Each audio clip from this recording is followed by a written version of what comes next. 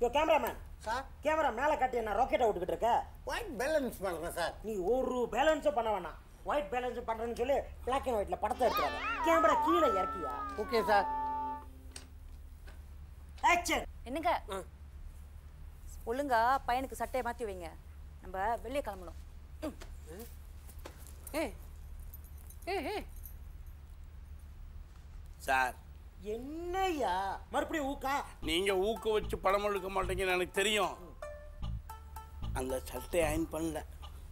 உங்க சட்டை இல்ல அந்த சின்ன பையன் சட்டையை அயன் பண்ணல.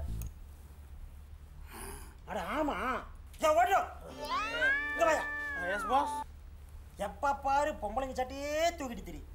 ஏன்யா அந்த பையனோட சட்டையை அயன் பண்ணுங்கய்யா யாருமே என்கிட்ட கொடுக்கல. அதனால நான் பண்ணல. ஓ அந்த பையனே வந்து உன்கிட்ட கொடுத்து அயன் போடுன்னு சொல்லுவானா? போய் அயன் போடியா? சாரி சார் வாடா என் செல்ல வா வா வா வா. சரியான அகராதிக்காரன் அடுத்த படத்துக்கு இவனை கூப்பிடாதீங்க.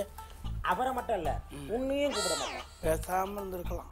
யோ யோ யோ யோ யோ ஓடுறா போய் ஏன் என் பையனை தூக்குற?